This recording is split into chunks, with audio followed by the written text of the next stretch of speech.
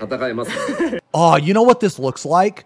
Dudes. Okay, look. Yo, yo, yo, yo, yo, yo, yo. You know what this looks like? This looks like the dojo that my ninja trained at. My okay, so my ninja, my ninja is a vampire ninja. And his his master, his master was a vampire. And at but but but my ninja didn't know that he was a vampire. So as they were going through the training, you know, like they had the thing where you catch a fly with chopsticks. They had the thing where you like, where like there's like this dripping water, you know, and you like put your hand in and take it out real quick, and you don't and you don't get your hand wet, you know, that kind of stuff, right? And you like, there's like this board, right? You know, like this board. It's like in um, Kill Bill 2. You put your hand like up to a board and you go like that, right? And you have to be able to break the board. You know what I mean? Yeah. So it's like that. So so like they did all that shit, and then my ninja, he mastered all of the art of that. Like he could do like the you know the five point palm exploding heart technique. Well, my ninja's such a badass. It's the one point palm exploding heart technique. It's just one boom, and then your heart blows up. That is how strong my ninja is, right? And then his master, there was only one thing left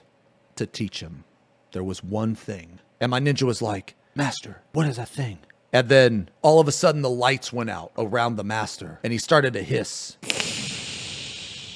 And his fangs popped out. And he turned to the ninja and he pounced on him.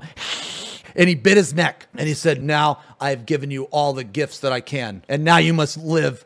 You know, now you must learn to live the life as a ninja vampire. But anyway, I said all that just to say that this dojo, it kind of looks like it kind it, it kind of looks like the dojo that they trained in.